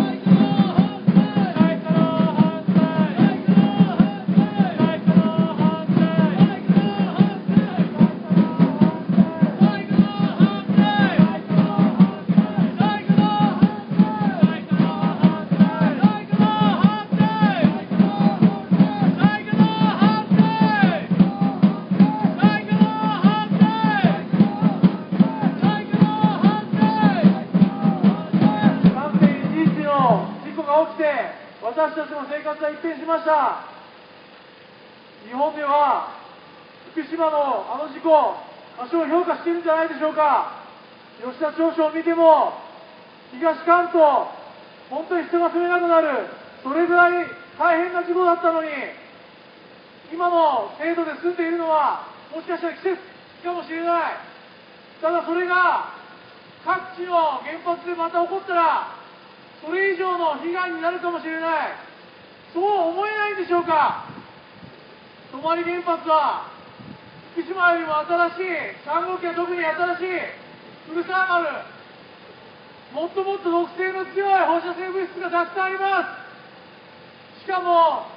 内陸に向かって風が吹いている。北海道で同じような事故が起き起きた時にはもう北海道は壊滅する。そう思いませんか？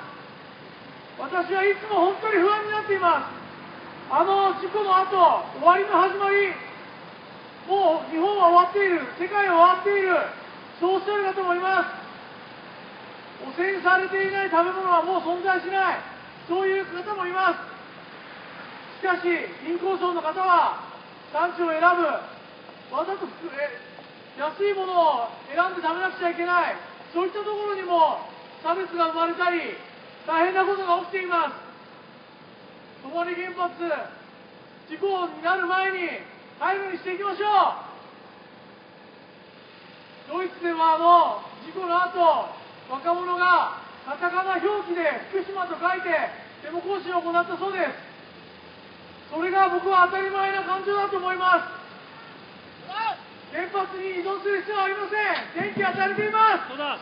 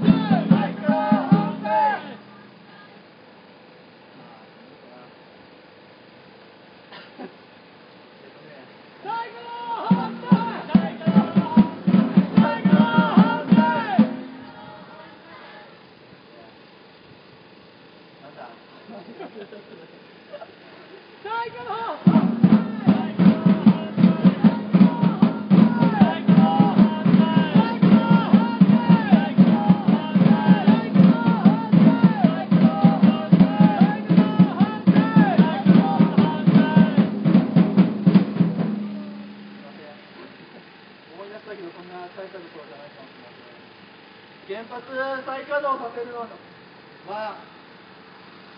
無理なことばっかり。さっきも言いました。原発コントロールすることできないし。何かあったら被害の保証することもできないし。責任取ることも高橋アルミ知事にはできないんです。原発を出すなんてできないことばっかり。だけど一つだけ。いやどっちかな。まあ簡単なできることがあります。知事あなたが原発やめます。それ言うだけでいいんです。めっちゃ簡単じゃないですか。できないことをやれって言ってるんじゃないんです。一言そういうだけ簡単なことやってください。言ってください。再稼働反対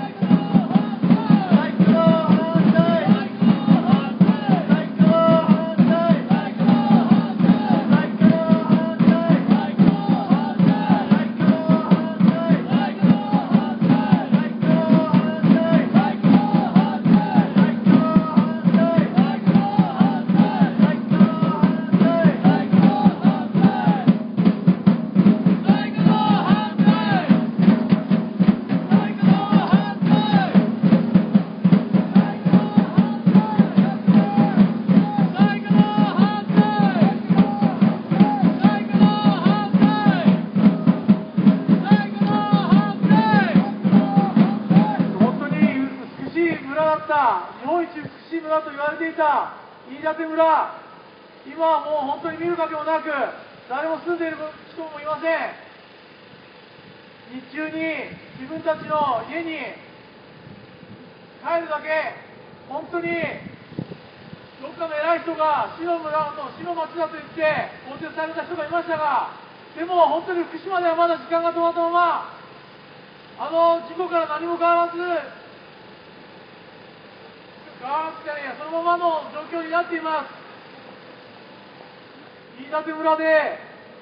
火事場泥棒のように、誰もいないところ、泥棒が入っているそうです。そこを警察官がパトロールして、誰が入らないように見張っている、その警察の方たちも被爆している、そういう報道も聞きます。北海道も同じようになったら、今日もここで見守ってくれてる地方署の皆さんもいますが、そういった犠牲を払わなきゃいけないんでしょうか。避難計画もままならない。むしろ札幌は避難することすらできない。首長の政令指定措置の首長である上田さんははっきりと原発はいらないと言いました。同知事であるあなたが決断すれば済むことです。あなたは私たちのこの運動、いろんなことがある、いろんな声があります。その程度の評価しかしていませんが、はっきりしましょう。原発はいらない。あなたは原発がいるのか、原発を再稼働させようとしているのか、それとも廃炉にしていくべきなのか、もう明言してください。高橋知事118回、毎回毎回お願いしています。再稼働反対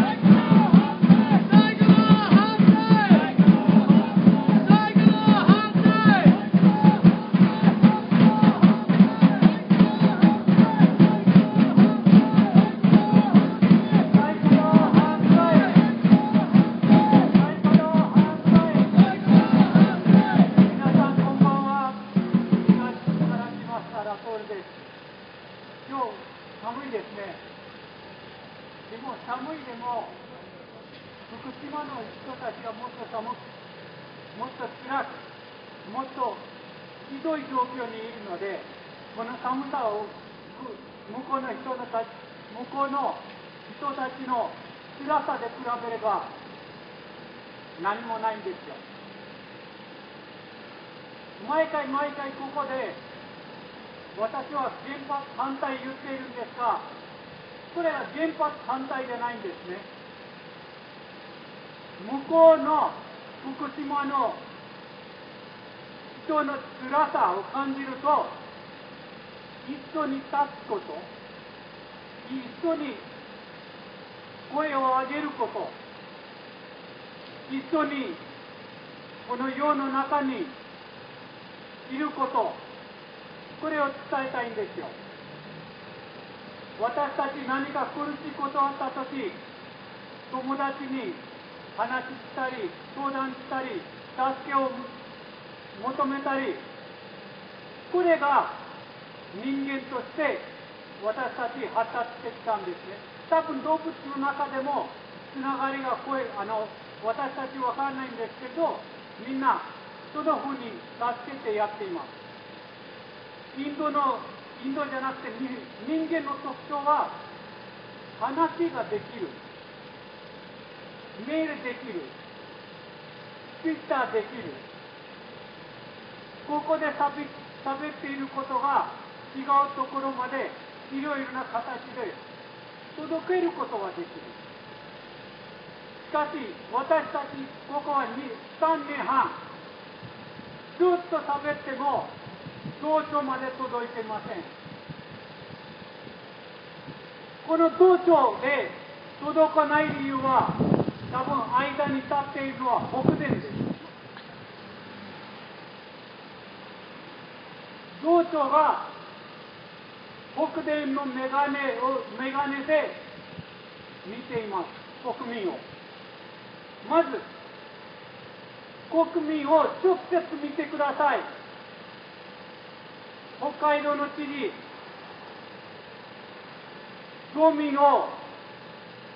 北電のメガネを使わずに直接見てください。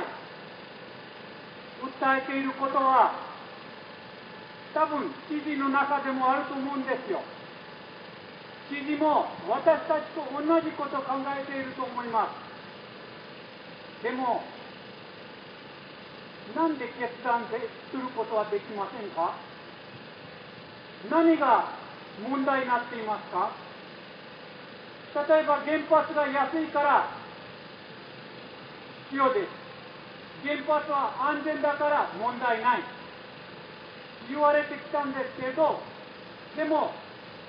国会で2、3日前のことなんですけど、安倍首相も原発は100%安全じゃないと言いました。皆さん、私たち車を運転するとき、100%安全じゃないことと、原発の100%安全じゃないことは全く違います。0.00何パーセント、1%危なさは、それが私たちにどのぐらい被害を与えるのか、みんな分かっています。今、3年半経っても、事故がどのぐらいこの原発の問題を片付けることができたか、誰も知りません。問題はもっともっと悪くなっています。何年前私の友達がここに初めて日本に北海道に来た時一人年寄りの人が道端で紙を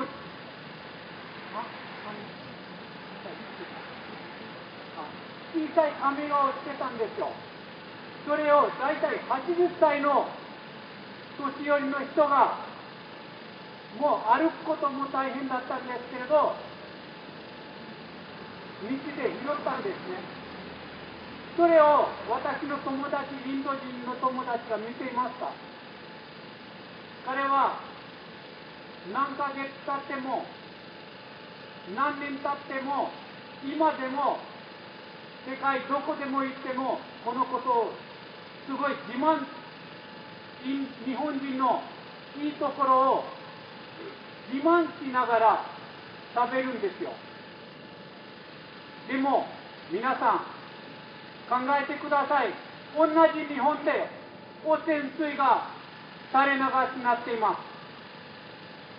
これがこれに対して日本人はどう思っているのか日本の政府はどう思っているのか。私は疑問と思っています。皆さんこの垂れ流し止めましょう。このこの日本はちり紙でも日本人はちり紙でも笑顔色国民です垂れ流しはこれが許す国民じゃない。政府まで届けましょう。この原発を止めましょう。再稼働反対。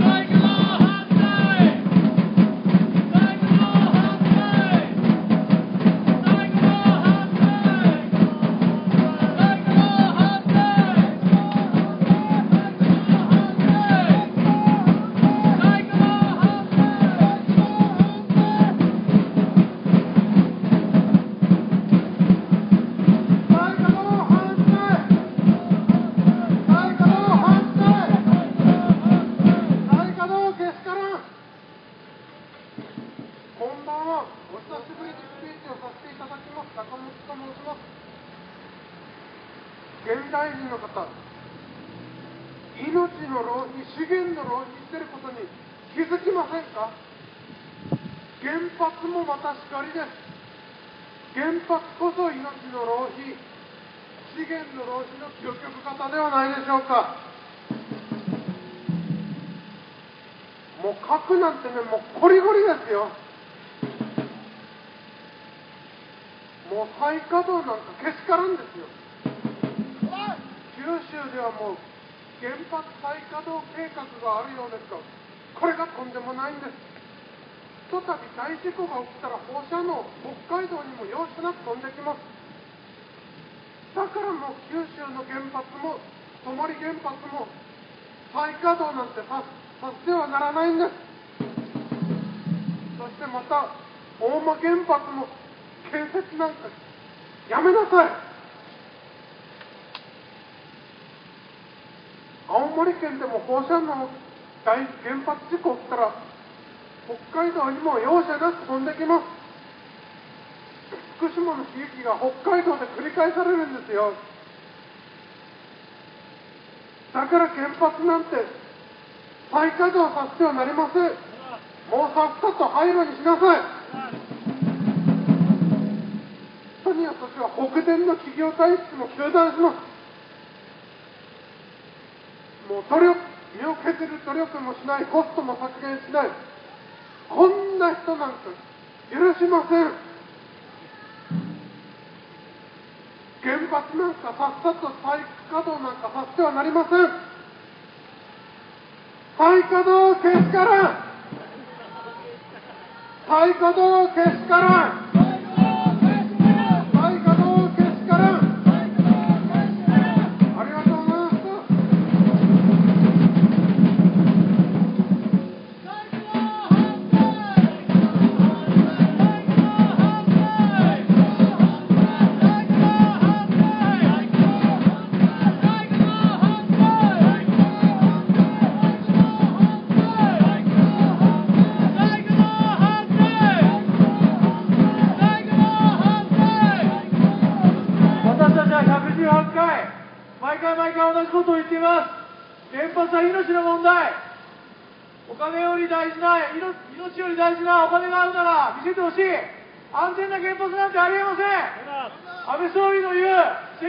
安全な基準。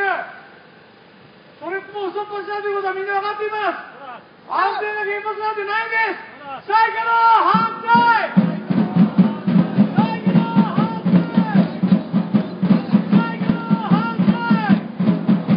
国電は社長を変える前に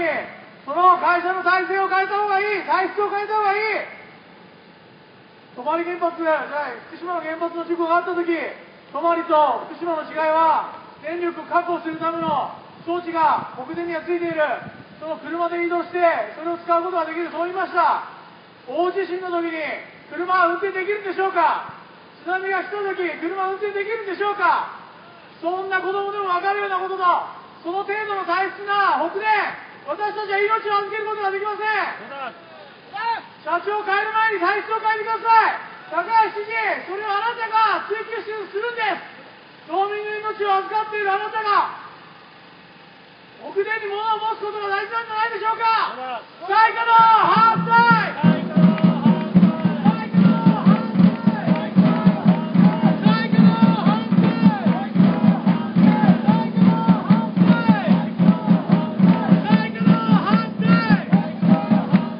私の知り合いの医療に携わる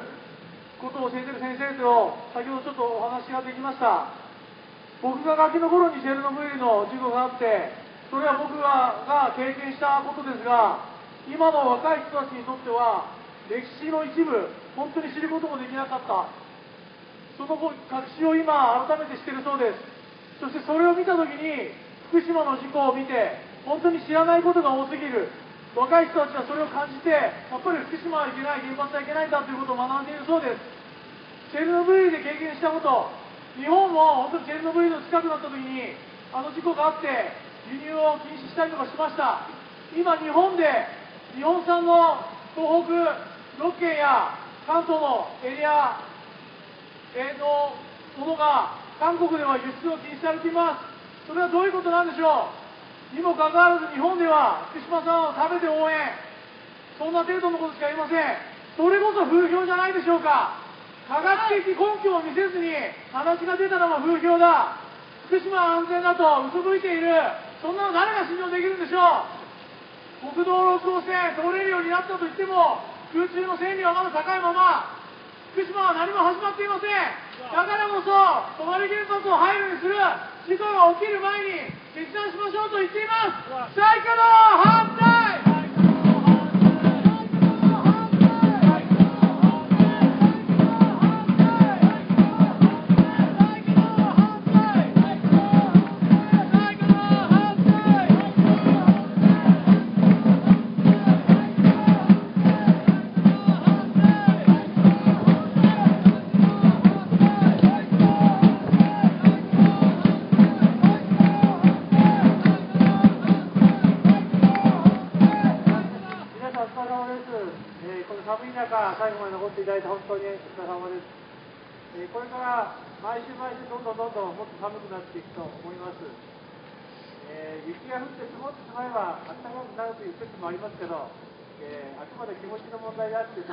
変わりはないので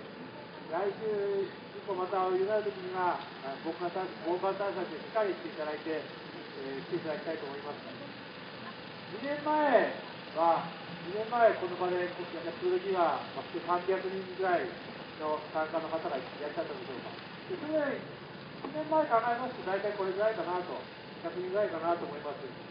えー結局、まあ、今日も、えー延べで1 100人ちょっといかないかなと思いますけど、これぐらいの人数で私たち1年以上この、えー抗議行動を続けておりまして、そのこと自体はあのこれまで北海道でも札幌でも経験したことのない行動ですからよくぞ続いたという言い方もできるしよくぞ続けさせられたということもできるし、えーあります。で先ほどからも話してますけど来年の春には申請してまして国電は来年の11月に泊原発再稼働するということを明記した文書を組み出していますのでそれはそれとして彼らなりの根拠を持ってそういうことを、えー計画してるんだろうといよいよ来年1年間が私たちにとっても正念場だと思っています。えーこれからまた冬を越して3回目の冬を、えー何が楽しくてと思いながらこの雪の中でこの路上で2時間、毎週1回こういう行動を続けてそして来年雪が溶けて以降が本当に正念場だと思います。その時に本当に大きな運動を続けるようにそのための火種は私たちずっとこれからも続けていきたいと思っています。この場の週1回のたった2時間の行動だけで原発が止まるというふうに思っていませんので、しかし、それぐらいの行動ができなくて、これまでの原子力マフィアの皆さんを引き出すということもできないだろうと思いますから、えーこの金曜日のこの自らの行動はずっと続けながら、これだけでとどまらない、これ以外のことをどれだけ広げられるかということに、えー勝負がかかってくるだろうかと思っています。えー皆さんもそれぞれのところで、職場だったり、住んでるところだったり、お友達だったり、会社だったり、いろんなところで、いろんな方々と結びついて、えー原発の少し声を広げるためにいろんなことをされていると思いますけど、来年はそれをさらに一段と、えーギアチェンジをして、一段と広げるということを今からいろいろ考えながらやっていきたいなと思ってます。えー反原発連合も、先週の土曜日の、えー、さよなら原発北海道新聞そしてそれに合わせた、えーライブデストロイ GP バンドボリューム3でしたけど、終わりまして、これから改めて、新たなスタートを切る時期になっているかなと思います。えー皆さんのからいろいろアイデアをいただいたり、知識をいただいたり、力をいただきながらやっていきたいと思っています。え幸いなことに皆さんから毎週寄せられていた募金によって、この行動支えられていまして、あの間違ったものがなくて、どうしようもないという状態はずっとないんです。あのこれは本当に皆さんに感謝しなければならないと思うんですけど、この番組皆さんがいただいている募金だけで、十分私たちのこの行動成り立っています。さまざまなライブだといろんなサウンドだとかやってますけど、みんなの全て全部成り立っていまして、えーそれは本当に皆さんの力のおかげだと感謝しています。えー逆に言えば、そういうことに心配しなくていいだけに、来年思い切っていろんな活動をしたいなと思っていますから、えーその点で改めて皆さんの、えーご協力をお願いしたいと思思います。さっきも言いましたけど、来週はもっと寒くなるだろうと、えー思いますので、暖かくなるには、自分自身が暖かくしてくるということもありますけど、この場に立っているで一番よくわかるんですけど、あのどれだけこの路上に人がいるかによって全然気持ちが違うんですよ。その場に立って皆さんのところを見て、たくさんの顔が見えると、それだけでも暖かくなるし、元気になる、えー思います。今日のように寒い時はしょうがないかなと思うんですけど、えこれからも寒くなるのは当たり前なので、えこういう備えをしながら、来週また皆さんと、えー、その場で会い、お会いできればいいなと思っています。ということで、今週の118回目になります、こういう行動は、えーそろそろ終了したいと思います。でいつもお願いしているように、さっきも言いましたけど、えスタッフが透明な箱を持って皆さんのお帰りをお待ちしておりますので、ぜひあのご協力をいただきたいと思います。えー、今日も本当にありがとうございました。最後にもう一回いきますね。最高の反対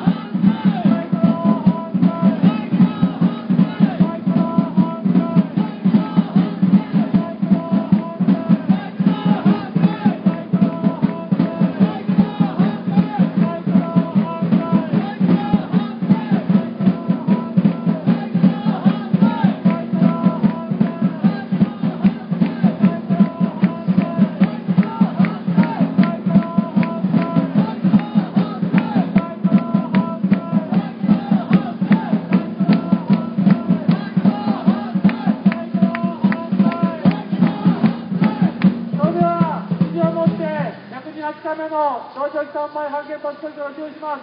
皆さんお疲れ様でした。また来週お会いしましょう。さよなら。ありがとうございます。